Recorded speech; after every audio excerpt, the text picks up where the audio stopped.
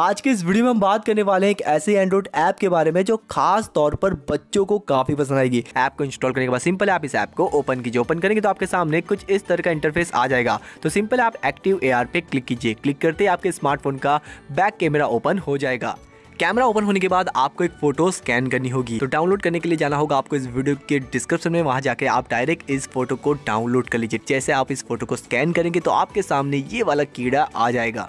यहाँ पर आपको एक कंट्रोलर भी मिल जाएगा, जिसकी मदद से आप इस कीड़े को लेफ़्ट राइट आगे, पीछे मतलब जहाँ लेकर जाना चाहे, वहाँ पर लेकर जा सकते हैं। साथ साथ में आप यहाँ पर मार्कर को हटा भी सकते हैं। आप देख सकते हैं, मैं इस इमेज को हटा रहा हूँ बट फिर भी ये कीड़ा उसकी जगह पर ही है। यानी कि एक बार स्कैन करने के बाद ये कीड़ा कहीं नहीं जाता है, वहीं का वहीं रहता है। इस ऐप की लिंक मैं आपको इस वीडियो के डिस्क्रिप्शन में दे दूँगा। अगर ये वीडियो पसंद आते है तो प्लीज़ लाइक कीजिएगा। तब तक लिए अपना ध्यान रखिएगा दोस्तों। Take care bye